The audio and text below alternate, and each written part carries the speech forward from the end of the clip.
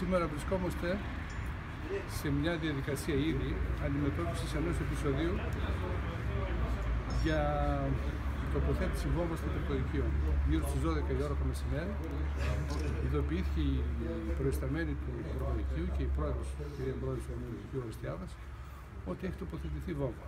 Ήδη αυτή τη στιγμή, μάλλον πιστεύω ότι θα λήξει ομαλά, αλλά εν πάση περιπτώσει εκενώθηκαν τα κτίρια, εκενώθηκαν τα κτίρια, λύθηκαν όλα τα απαραίτητα μέτρα, έγινε ο απαραίτητος εξονυχιστικός μάλιστα έλεγχος.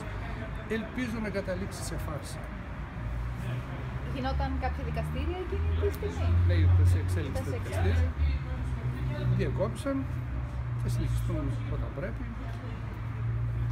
Ελπίζουμε πάλι, σας το λέω, γιατί έχουμε μια προϊστορία πάνω σε τέτοια θέματα. Ελπίζουμε όμως ότι αυτή τη φορά θα είναι πραγματική φάρση. Θα είναι φάρση.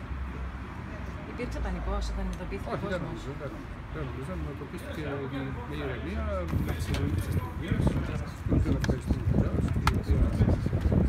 Ήδη ενεργεί τα νόημα και ελπίζουμε ότι θα την λήξει ομαλά η ιστορία και ελπίζουμε να μην επαναληφθεί.